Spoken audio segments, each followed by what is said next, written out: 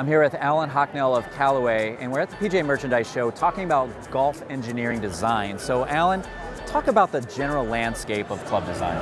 Yeah, at the moment we're seeing that uh, a lot of people were thrilled by seeing more ball speed. Uh, we got a lot of that uh, feedback from the Epic driver, but also from our irons as well that feature face cup technology. So technologies like jailbreak and face cups combined with forgiveness when you don't quite hit the center of the face, I think that's where we're pushing forward the most at the moment.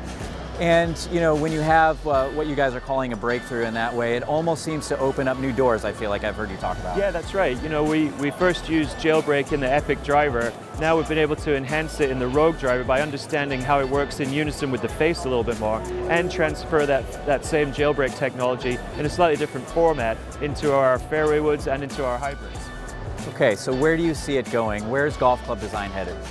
You know, I see that there are a lot of technologies that add distance, and that, that's great. We'll continue to do that. But I also want to be able to individualize performance for you, maybe different from myself. And we do that by offering lots of different configurations of our products, either by head models or by the way that you can configure the entire golf club.